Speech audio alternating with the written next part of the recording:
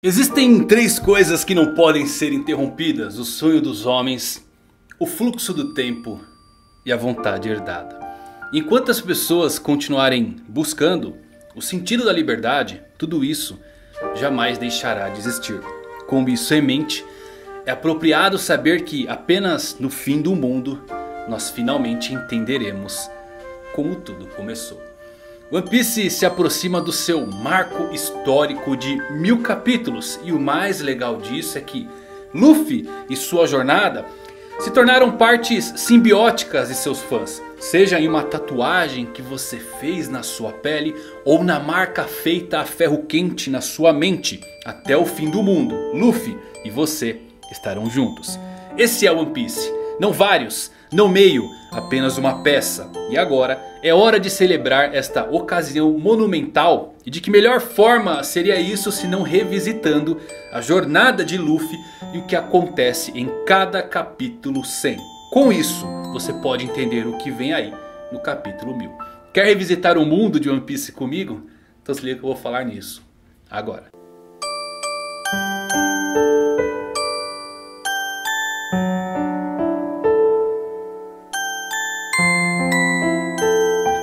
Galera, eu Evandro Fusari com mais um vídeo pra vocês, como vocês estão? Eu espero que todos vocês estejam maravilhosamente bem O capítulo 1000 de One Piece vem chegando aí um marco histórico E eu estou fugindo de spoilers como o diabo foge da cruz Está difícil, confesso Estou tentando ficar longe das redes sociais para realmente ter essa grande surpresa. Quero ver se eu gravo alguns vídeos diferenciados como um react da primeira leitura do capítulo 1000 que vai ser lançado obviamente bem depois do review. Primeiro vem o review, depois eu solto esse vídeo como um bônus.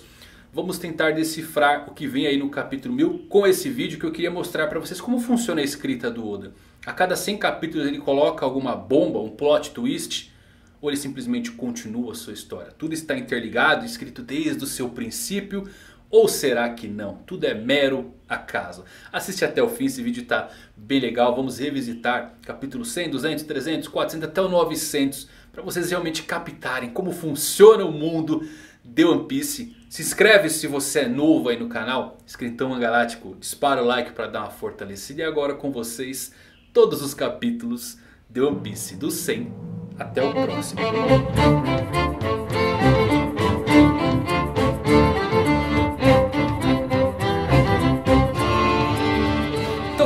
Capítulo 1000 é um marco histórico para a série The One Piece. E claro, para você fã que acompanha a série, embora nem todo centésimo capítulo apresente algo incrível, Cada um possui uma parte do que realmente torna One Piece uma série memorável. Seja a construção de um mundo, os temas dos sonhos e da amizade. Ou mesmo apenas o prenúncio notável de Eiichiro Oda sobre o futuro da sua série. Precisamos entender que é extremamente difícil para um escritor casar plot twists ou reviravoltas em um número pré-determinado. E a única forma disto vir a acontecer é meramente por acaso. Ou então ele mudando o foco para outro lugar da sua cena central. Para o capítulo 1000, sempre bate na tecla que se continuar em um ano, teremos um capítulo ainda fantástico.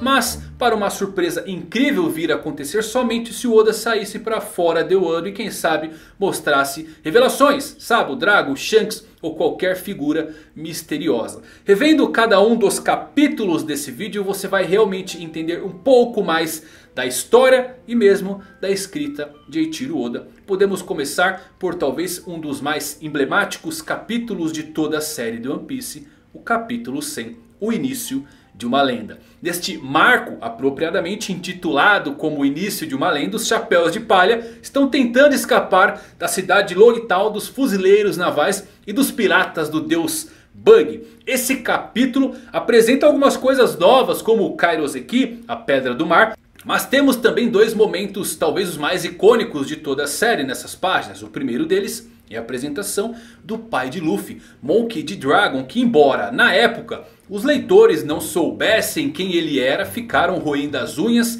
do que era aquela tempestade misteriosa ao redor de Dragon. E mesmo hoje esse capítulo ainda é bem vivo na mente dos fãs, ainda mais quando lembramos da icônica frase que Dragon nos diz e que revela muito do mundo de One Piece. Existem três coisas que não podem ser interrompidas. O sonho dos homens, o fluxo do tempo e claro a vontade herdada. Enquanto as pessoas continuarem buscando o sentido da liberdade, tudo isto jamais deixará de existir. É simplesmente um capítulo perfeito. O segundo momento icônico ainda no capítulo 100 está nas suas últimas páginas. Que é quando temos os chapéus de palha se aproximando da entrada da Grand Line durante uma tempestade. E para marcar o início da sua verdadeira jornada, Sanji puxa um barril e os cinco membros fundadores dos Chapéus de Palha invocam então os seus sonhos bradando alto para todos ouvirem.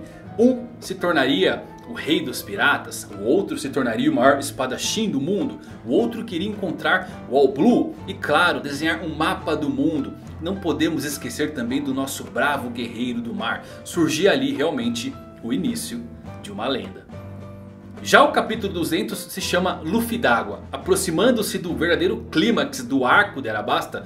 Vivi e os Chapéus de Palha estão tentando encontrar a bomba que Crocodile havia escondido em algum lugar da capital. Enquanto Luffy está tendo a sua revanche contra o Shichibukai. Em retrospecto a isso, a forma como a Miss All Sunday ou Nico Robin reagem com diversão bastante curiosa à determinação que o Luffy demonstra em derrotar Sir Crocodile pode ser um grande prenúncio direto da sua eventual adesão aos Chapéus de Palha em um futuro bem próximo. Seu sorriso enquanto Luffy engole água para ficar maior e a alegria que ela expressou nesse momento é bastante evidente. Esse capítulo tem algumas das coreografias de lutas mais intensas e fortes que o Oda já fez. E é muito divertido ver como cada membro da tripulação teve o seu momento de destaque. A maneira como o Oda se aproxima do final deste capítulo também parece muito gratificante quando você o revisita.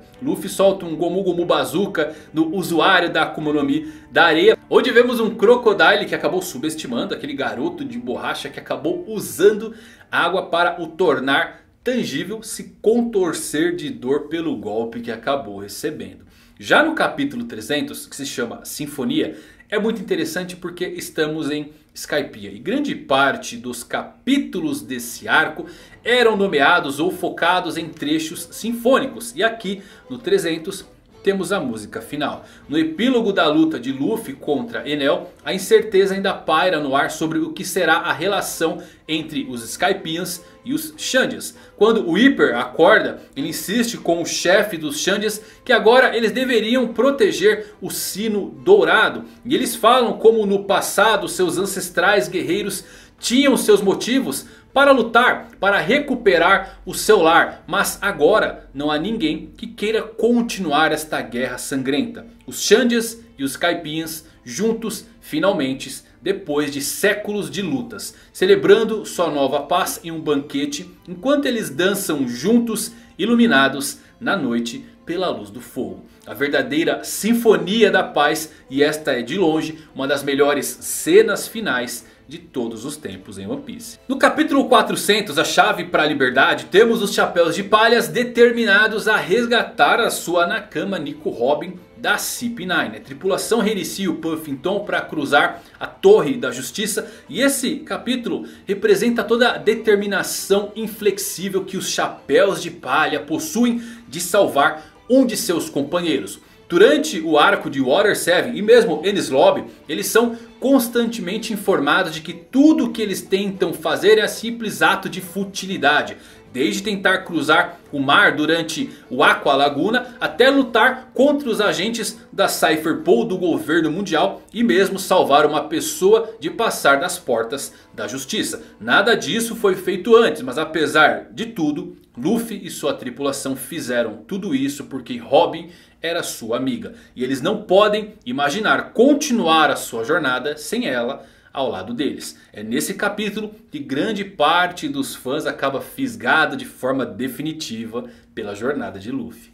Já o capítulo 500, As Brasas da História, é um dos mais icônicos de todos certamente. Parte do que torna o arco de Shabold tão memorável é que a própria ilha é glamurosa e convidativa. Mas o próprio arco lida com assuntos tão pesados como divisões de classes, discriminações, o tráfico humano e uma questão bastante inflexível. Os chapéus de palha estão agora lutando pela ilha de Shabold, procurando por sua nova amiga sereia Kami, que aparentemente acabou sendo sequestrada e vai ser vendida. Muitos se lembram deste capítulo por ser a grande introdução da lenda Silver's Railing, o primeiro imediato de Gold Roger, o Rei das Trevas. Mas há algo a aprender neste capítulo que pode ser muito mais importante do que o surgimento de uma lenda. O preconceito arraigado que os homens peixes e as sereias enfrentaram por séculos. Este é um aspecto de One Piece ao qual já se aludiu bastante, mas só agora ele foi finalmente abordado.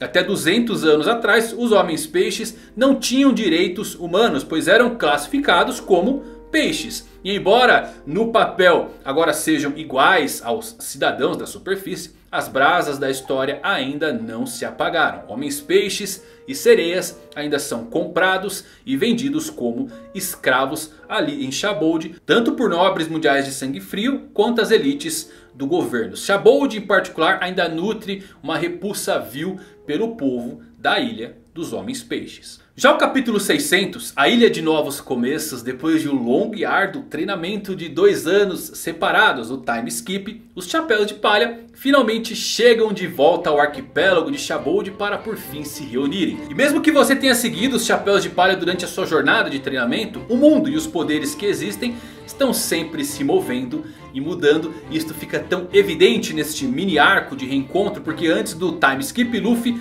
entrou em fúria determinada invadindo todas as três ilhas do governo mundial. Eles Lobby, Down e Marineford. E agora com ele ficando sumido por dois anos inteiros por seu treinamento.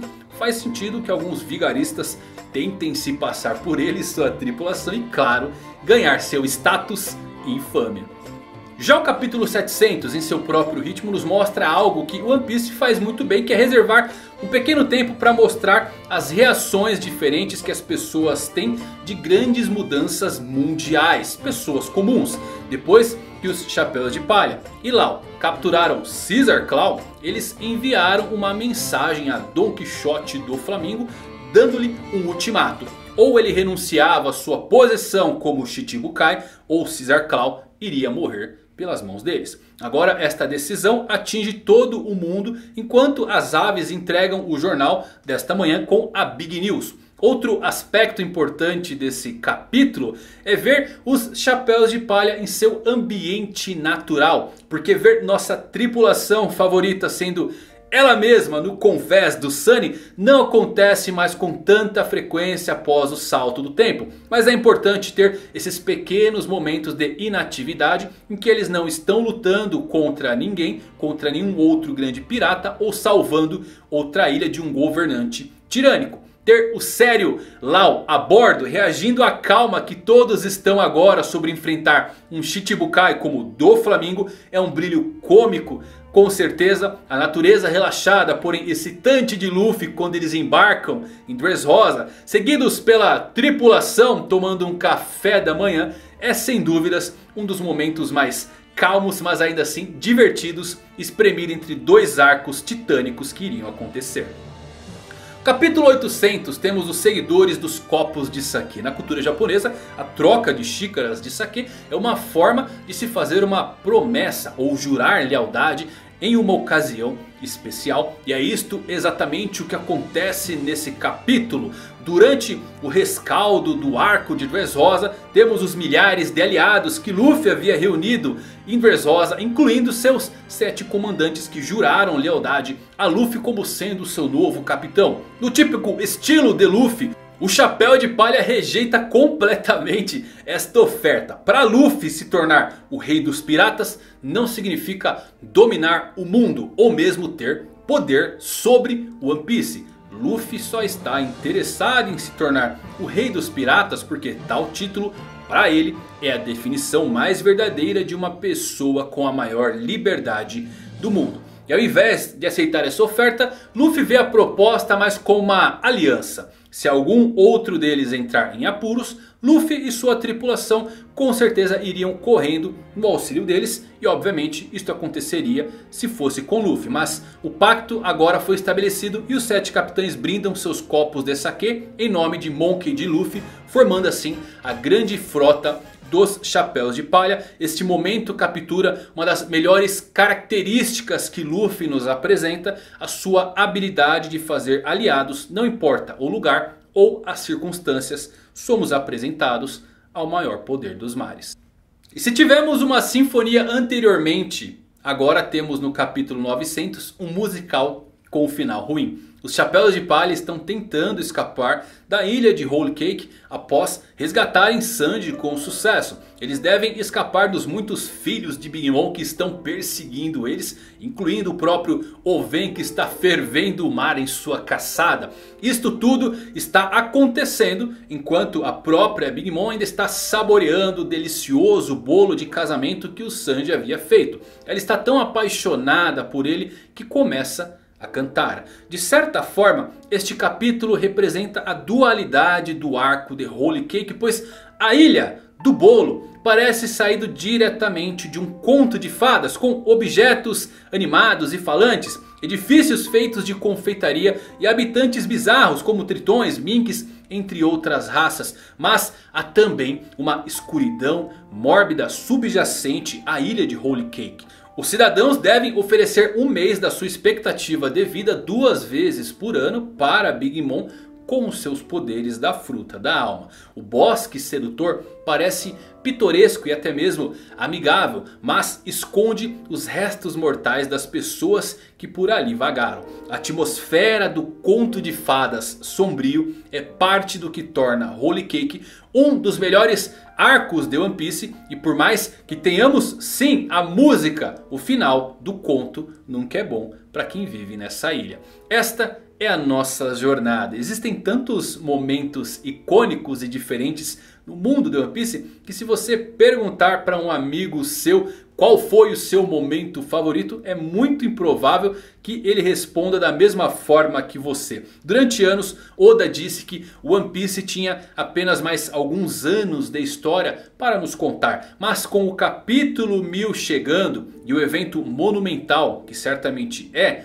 Luffy lutando contra Kaido, esta declaração nunca apareceu mais real. Creio que vocês puderam perceber nesse vídeo que Oda não tenta tornar cada capítulo sem memorável. A verdade é que Oda tenta tornar cada um de seus capítulos incríveis. Sempre temos um novo personagem, um novo enredo, uma realização, uma habilidade introduzida em quase todos os capítulos. Então sim, alguns deles estão fadados a cair nos capítulos 100 e agora quem sabe no 1000. Mas se não caírem eu tenho absoluta certeza que ainda será mais um momento épico e icônico para ser lembrado. Afinal, apesar de Oda já dizer que o One Piece é real, é um tesouro físico, eu tiro que pelo menos para mim e para você tenho certeza que nosso maior tesouro vai ser a jornada.